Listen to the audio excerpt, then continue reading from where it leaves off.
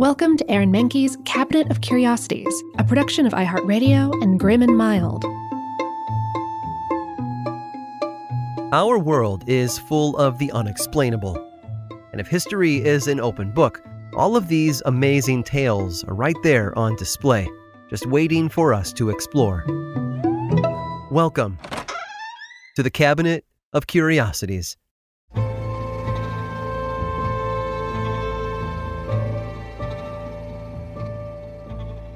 He believed the creature was inherently evil and that it harbored the spirit of Satan. Pope Gregory IX knew this because his grand papal inquisitor, Conrad of Marburg, who'd been tasked with suppression of heresy along with ridding the land of witches, had provided actual evidence. The evidence? Confessions, of course. No, not from the creature, but from those around them. And the confessions were obtained by way of torture. Lucifer's agent must be dealt with, Conrad warned, and the Pope believed him. And so began the Vatican's war on cats. Conrad took the task of eliminating heresy and witches seriously, although some say a bit too seriously. He believed in a guilty until proven innocent approach and quickly gained a reputation for cruelty. Pope Gregory had granted Conrad the authority to ignore church policies and rules for the sake of the Inquisition, and so torture was his go to method of questioning.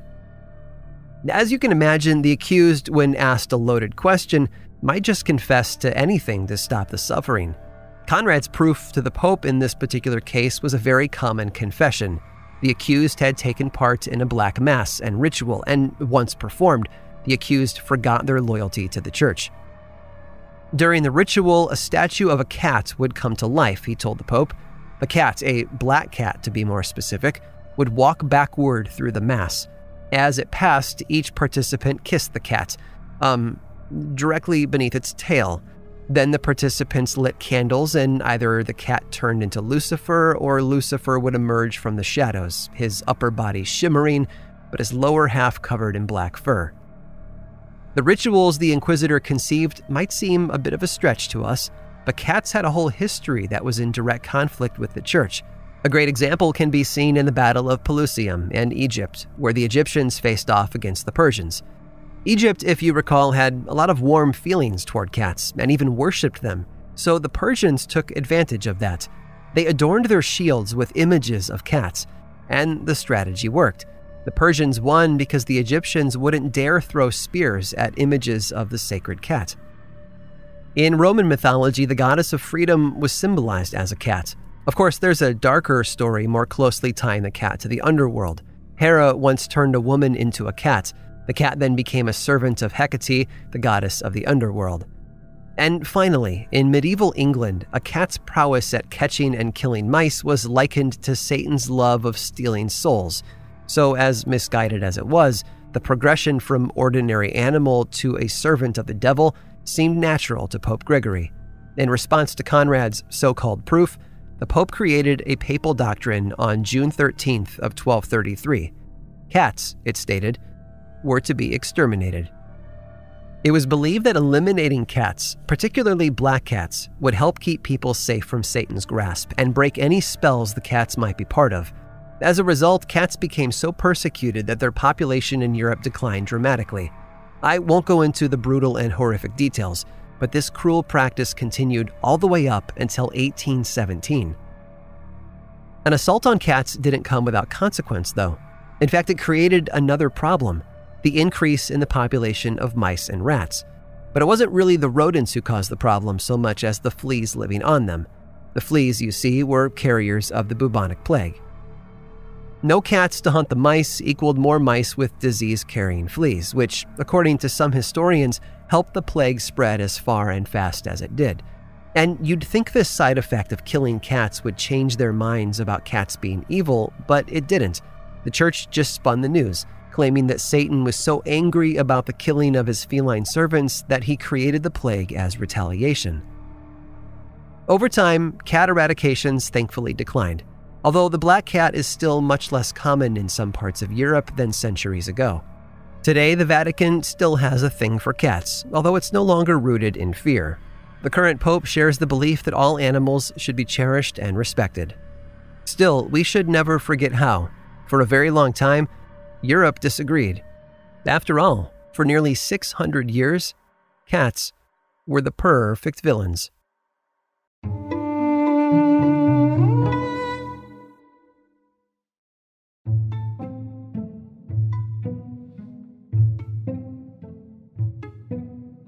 Mad Jack Churchill had a saying Any officer who goes into action without his sword is improperly dressed. His sword of choice? A basket hilted Scottish broadsword. While other World War II soldiers went into battle with rifles and tanks, Mad Jack Churchill stepped onto the battlefield with his trusty broadsword. Oh, and a longbow, and a few grenades. And one more thing bagpipes.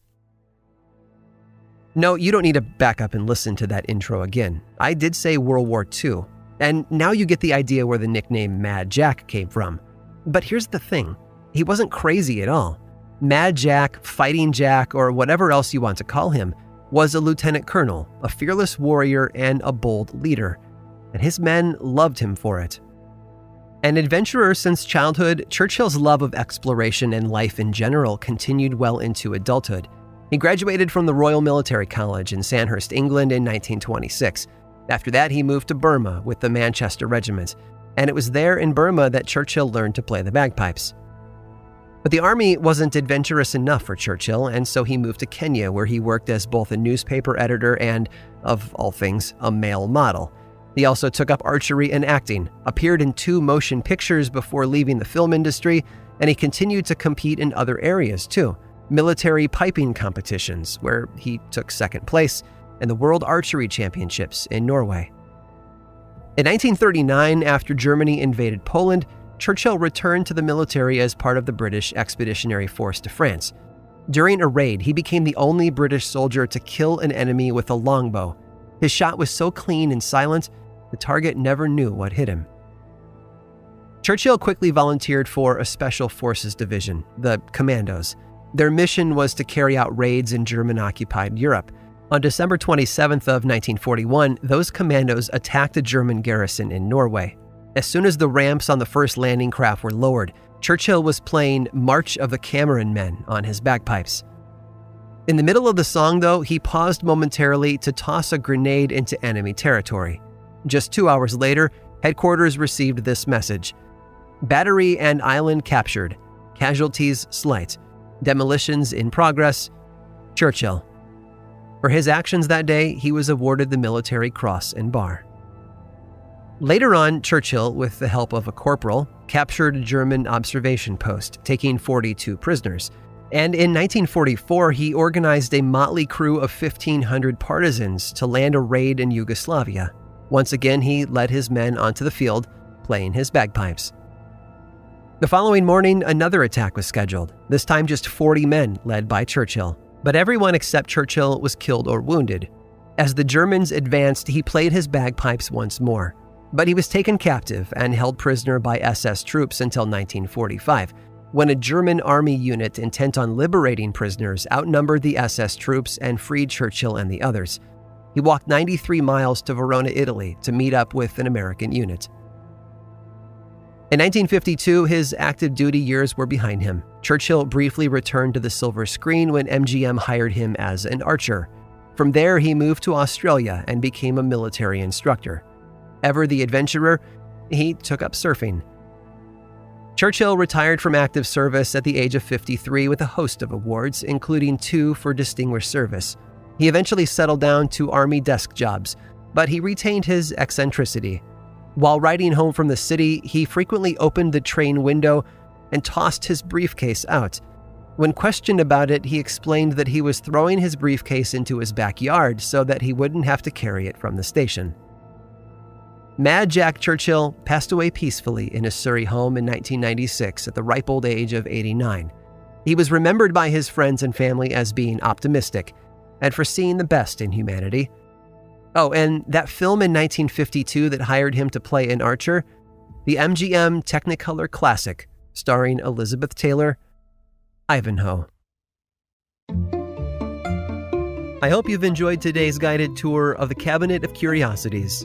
Subscribe for free on Apple Podcasts or learn more about the show by visiting curiositiespodcast.com.